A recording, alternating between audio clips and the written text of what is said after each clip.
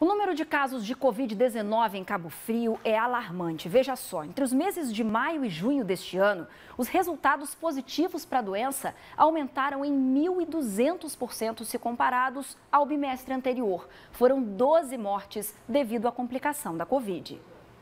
Entre os meses de maio e junho, os casos de Covid-19 em Cabo Frio aumentaram em 1.200%.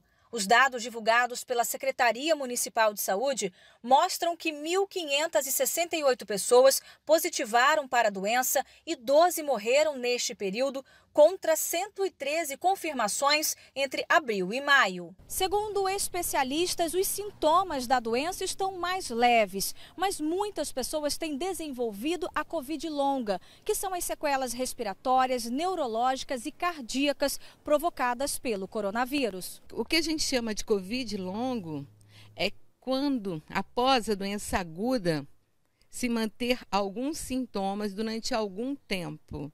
Você pode manter por meses e já tem relatos de pacientes até por mais de ano, mantendo sintomas respiratórios, dificuldade respiratória, miocardite, que é uma inflamação do coração pós-Covid você sintomas neurológicos com alterações cognitivas, ou seja, alterações de memória.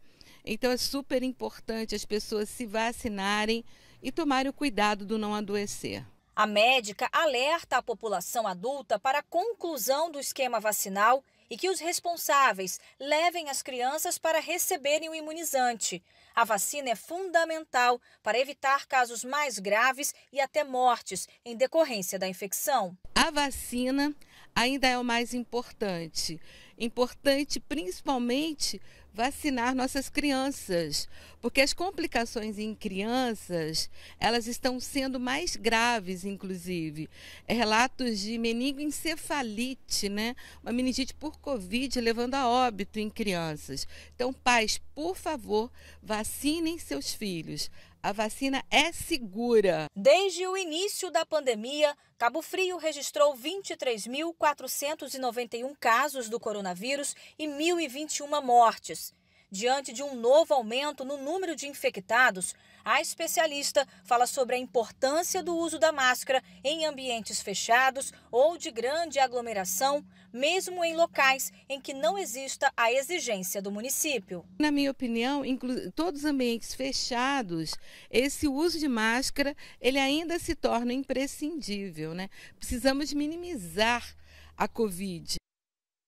E a nossa produção procurou a Prefeitura de Cabo Frio para saber exatamente o que pode ser feito na cidade devido a esse grande aumento aí. E em nota, a Prefeitura disse que é preciso lembrar da responsabilidade de cada cidadão para manter a proteção coletiva e estar com a imunização em dia. Informou ainda que realiza ações e campanhas contínuas para informar e convocar os cabofrienses para a vacinação, como também mutirões aos sábados para facilitar o acesso da população às doses do imunizante e a gestão ressaltou ainda que a equipe de epidemiologia do setor de saúde coletiva da Secretaria de Saúde acompanha constantemente os dados da evolução da doença no município, para que as medidas necessárias sejam implantadas, alteradas ou retomadas. E, por fim, a Prefeitura lembra que para acomodar a, e acolher da forma mais confortável os pacientes, que estão com sintomas gripais, será instalado novamente um espaço para absorver a procura por esse atendimento na unidade de pronto atendimento, a UPA,